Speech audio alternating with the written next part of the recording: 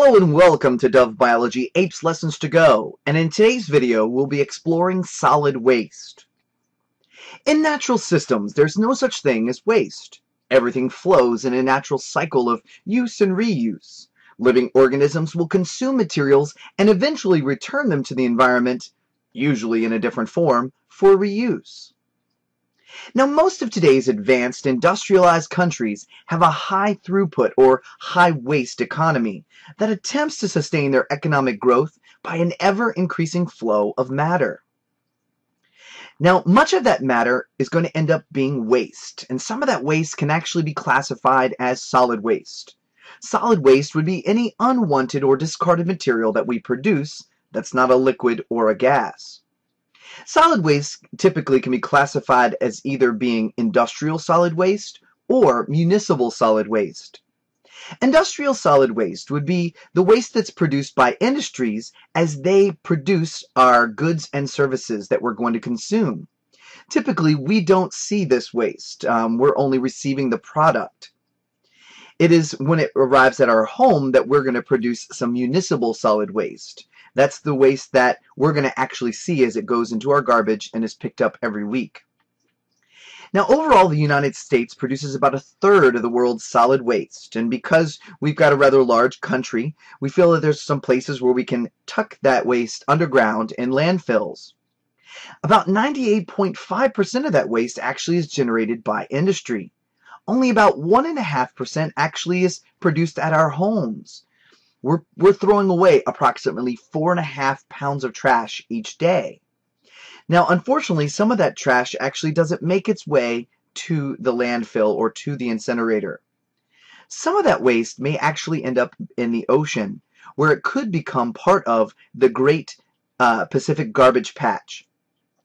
The Great Pacific Garbage Patch is a gyre of marine debris that's full of high concentrations of floating plastics, chemical sludge, and other debris that's been trapped in the slow-moving currents of the North Pacific Gyre.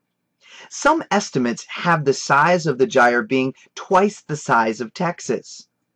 Now, this huge garbage patch presents a number of hazards for marine life, fishing, and tourism. It can enter into the food chain as filter feeders and small fish ingest it, and then move up the food chain as larger fish and marine birds actually consume uh, the smaller fish and filter feeders. This plastic can either poison the organisms or actually lead to deadly blockages. The garbage itself will wash up on beaches, further disrupting ecosystem and just making for a very unpleasant place to visit.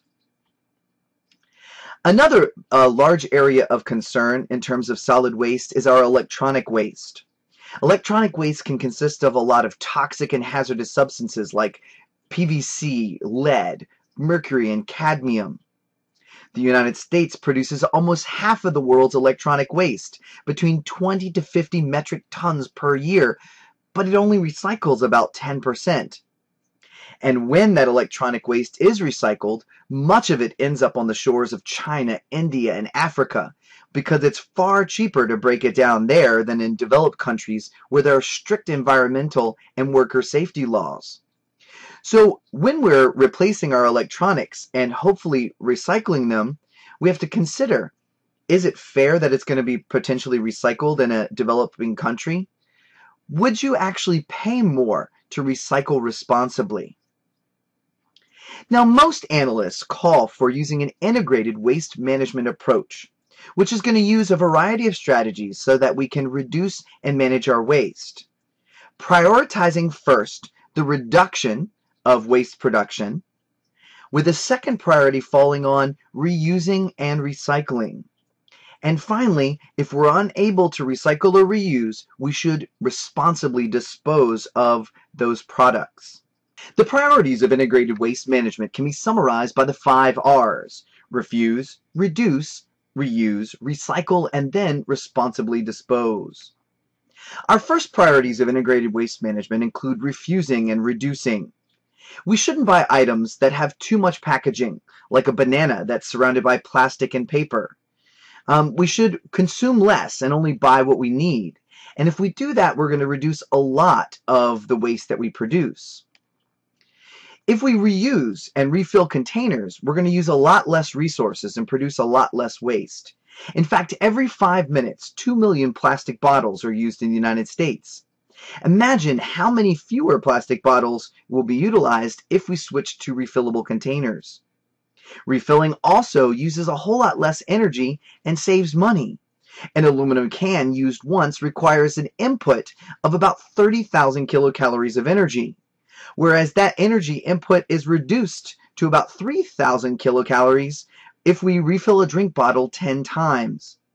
You might think the movement to uh, a refillable society uh, might be difficult, but in Denmark and in Canada's Prince Edward Island, there's actually a ban on all beverage containers that can't be reused. In Finland, 95% of all soft drink and alcoholic beverages are refillable. In Germany, it's 75%. Our next priority in integrated waste management would be recycling. Recycling paper, glass, and plastics, and buying items that are made out of recycled materials. Recycling has a number of environmental and economic benefits from reducing pollution and deforestation, as well as using less energy. Remember that a virgin aluminum can requires an input of 30,000 kilocalories of energy. But by recycling that same aluminum can, we're down to 10,000 uh, kilocalories of energy needed. Now there are two types of recycling. There's primary or closed loop recycling, in which materials of one type are turned into products of the same, so going from an aluminum can to an aluminum can. Whereas secondary recycling, we take our materials and convert them into different products. Uh, using uh, old tires to shred them up into uh, rubberized road surfaces, uh, shredding jeans to create insulation, or even turning plastic bottles into ink pens. Now, many communities have turned to single stream recycling due to its ease. Waste is sent to a materials recovery facility and then separated. There are two general types of material covers facility. There's dirty MRFs, which receive commingled trash and recyclables. And then there are clean MRFs that receive only recyclables. Materials recovery facilities can recover between 5 to 45% of the recyclable materials. Now there is some question as to whether or not moving to single stream is beneficial to both the economy and the environment. Dual stream and single stream recycling each have their own pros and cons. Dual stream recycling is a little more expensive to operate because it requires a pickup of first of trash and then a later pickup of recycling. Dual stream recycling requires sorting at home. Uh, this is a little more inconvenient to each family, but um, because it is humans sorting the trash and the recycling, it's going to require less energy overall. Unfortunately, dual stream recycling is typically only available in urban areas due to the expense of the dual pickup. It also relies on individual families to recycle, so not everyone is going to be recycling. Single stream recycling is a little bit cheaper to operate because you're only picking up trash and recycling once, but it is much more expensive to start.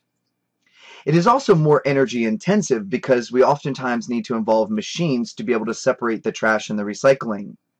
But fortunately, 45% of all the trash that's picked up is actually being recycled.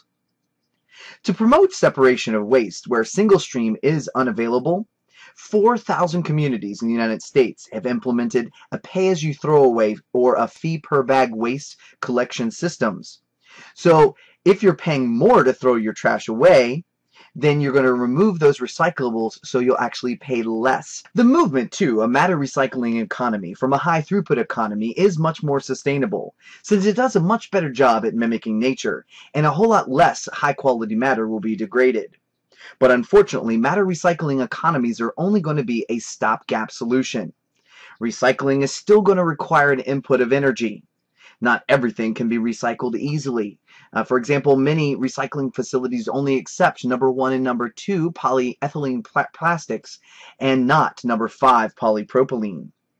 There's a limit to the number of times that something can actually be recycled because with each recycling event, the matter is further degraded.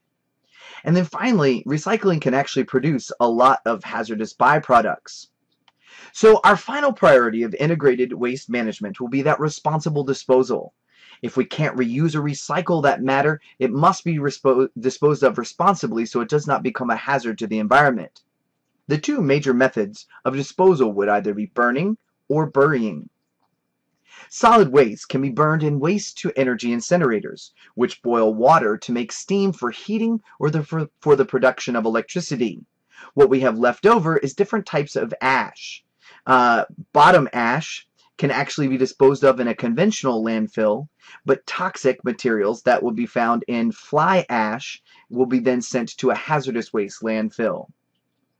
Japan and a few European countries incinerate most of their waste because they don't have the landfill space to accommodate all the waste that's being produced.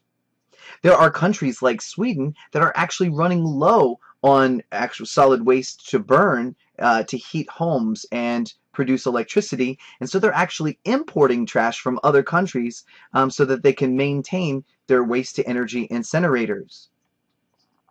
Now, most of the world's municipal solid waste is actually going to be buried in landfills.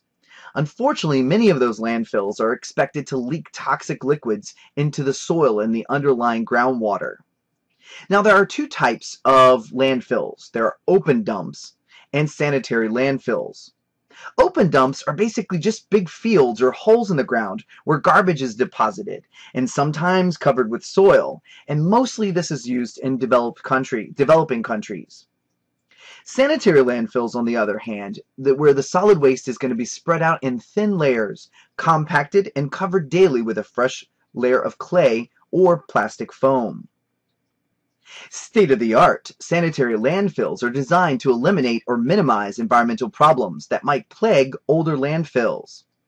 These state-of-the-art systems have leachate collection systems that are able to collect uh, liquids that are leaching from our waste and pump them to the surface so they can be actually treated and perhaps not impact uh, the groundwater there is systems to actually recover the methane that is being released through the anaerobic and aerobic de uh, decomposition of the organic material in that particular landfill. Um, the methane can actually be collected and then used as fuel to generate electricity. Since 1997, only modern sanitary landfills are allowed in the United States. As a result, many older and small landfills have been closed and replaced with larger local and regional modern landfills. When landfills are closed or reach their end of life, they're going to be capped with a plastic cover, clay, and then filled in. Previous landfills can serve as parks and recreation areas. A perfect example of this would be Mount Trashmore in Virginia Beach. When it closed, in order to cover it, uh, land had to be excavated. That created two ponds, one of which is used for recreation. The landfill itself has running parks and playgrounds and is widely used by the citizens of Virginia Beach. The most sustainable method for dealing with waste is to convert to a low throughput economy shifting to an economy that does not rely on an input of lots of energy and lots of matter. That way we're controlling our pollution and limiting how much matter that we produce. Now this is going to require a major shift in how we consume resources. Many folks all over the globe have attempted a zero garbage challenge, trying to minimize the amount of waste that they produce and heralding in that low input economy uh, a citizen of Charlottesville uh, by the name of Rose Brown actually started a zero garbage challenge, and she's attempted to minimize the amount of waste that she utilizes in her life. Uh, this bag here represents the amount of waste that she has produced for one year. Um, compare that to the amount of solid material that you put into the trash each day. While we all may not be able to be as successful as Rose in reducing the amount of waste that we produce, we can certainly endeavor to follow the priorities of integrated waste management to reduce the amount of waste that we produce so that we can live more sustainably with the environment.